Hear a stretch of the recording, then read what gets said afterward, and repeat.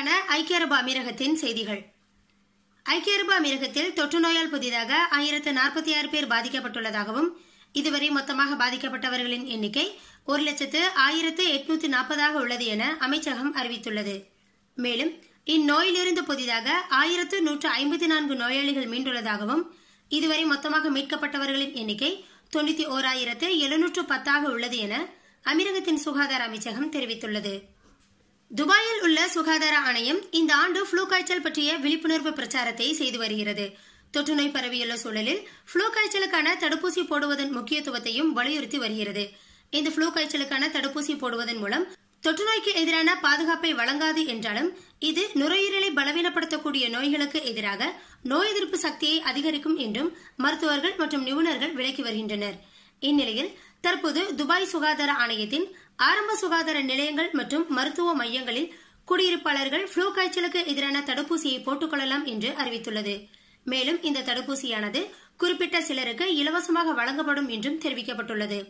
இதன் மூலம் அமீரக குடிமக்கள் மற்றும் வெளிநாட்டு குடியிருப்பாளர்களில் அறுபத்தைந்து வயது அல்லது அதற்கு மேற்பட்ட வயதுடையவர்களுக்கும் ஐந்து வயதுக்குட்பட்ட சிறுவர்களுக்கும் கர்ப்பிணி பெண்களுக்கும் மற்றும் மாற்றுத்திறனாளிகளுக்கும் இந்த தடுப்பூசியானது இலவசமாக வழங்கப்படும் என்றும் மற்ற குடியிருப்பாளர்கள் ஐம்பது திர்கம்ஸ் கட்டணம் செலுத்தி இந்த தடுப்பூசியை போட்டுக்கொள்ளலாம் எனவும் தெரிவிக்கப்பட்டுள்ளது. இந்த தடுப்பூசியை போட முன்பதிவு செய்ய விரும்புபவர்கள் அல்லது தடுப்பூசி போடப்படும் மையங்கள் மற்றும் செயல்படும் நேரங்கள் போன்ற விவரங்களை அறிந்து கொள்ள விரும்புபவர்கள் எட்டு பூஜ்ஜியம் பூஜ்ஜியம் மூன்று நான்கு இரண்டு என்ற எண்ணை தொடர்பு கொண்டு விளக்கம் பெறலாம் எனவும் தெரிவிக்கப்பட்டுள்ளது. ராசல் கைமாவில் உள்ள சுற்றுலா மேம்பாட்டு ஆணையம் மற்றும் ராசல் கைமா மருத்துவமனை ஆகியவை இணைந்து ஒரு புதிய நடவடிக்கை ஒன்று எடுத்துள்ளது. இந்த நடவடிக்கை குறித்து வெளியிடப்பட்டுள்ள அறிக்கையில் வெளிநாடுகளில் இருந்து ராசல் கைமா வந்து தங்கியிருக்கும் அல்லது ராசல் கைமாவில் இருந்து பயணங்களை மேற்கொள்ளும் அமீரக விசிட் மற்றும் சுற்றுலா விசா வைத்திருப்பவர்களுக்கு இந்த ஆண்டு இறுதி வரை இலவசமாக தொற்றுநோய்க்கான பிசிஆர் பரிசோதனை எடுக்கப்படும் என தெரிவிக்கப்பட்டுள்ளது. இதன் மூலம் தொற்றுநோய்க்கான பிசிஆர் பரிசோதனை எடுக்க விரும்பும் விசிட் மற்றும் சுற்றுலா விசா வைத்திருப்பவர்கள் ராசல்கைமா மருத்துவமனை அல்லது அல்ஹம்ரா மாலில் உள்ள ராசல்கைமா மெடிக்கல் சென்டருக்கு செல்லுமாறு தெரிவிக்கப்பட்டுள்ளது. இந்த அறிவிப்பின் மூலம் வெளிநாடுகளில் இருந்து விசிட் மற்றும் சுற்றுலா விசாவில் வருவோருக்கு இலவச தொற்றுநோய்க்கான பிசிஆர் பரிசோதனை எடுக்கும் உலகின் முதல் பகுதியாக ராசல்கைமா இருப்பதும் குறிப்பிடத்தக்கது. அபுதாபியில் உள்ள பல்வேறு சாலைகளில் விதிமுறைகளை மீறி வாகனங்களை இயக்கிய இருவர் சாலைகளில் உள்ள ரேடார் மற்றும் கேமராக்கள் மூலம் பிடிபட்டனர். பிடிபட்ட இருவருக்கும் இரண்டு புள்ளி ஆறு மில்லியன் திர்கம்ஸ் அபராதம் விதிக்கப்பட்டுள்ளதாக தெரிவிக்கப்பட்டுள்ளது.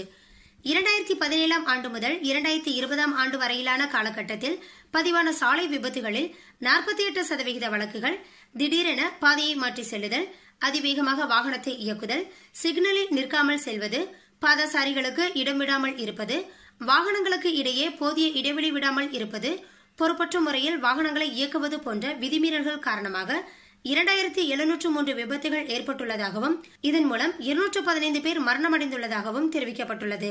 இதன் மூலம் புதிதாக அறிவிக்கப்பட்டுள்ள வாகனத்தை கைப்பற்றும் சட்டத்தின்படி மேற்கண்ட விதிமீறல்களை செய்பவர்களுக்கு அபராத தொகையானது ஏழாயிரம் திர்கம்ஸுக்கு அதிகமாக இருந்தால் வாகனம் பறிமுதல் செய்யப்படலாம் எனவும் மூன்று மாதங்களுக்குள் வாகனங்களை திருப்பாவிட்டால் அவை ஏலத்தில் விடப்படும் எனவும் தெரிவிக்கப்பட்டுள்ளது.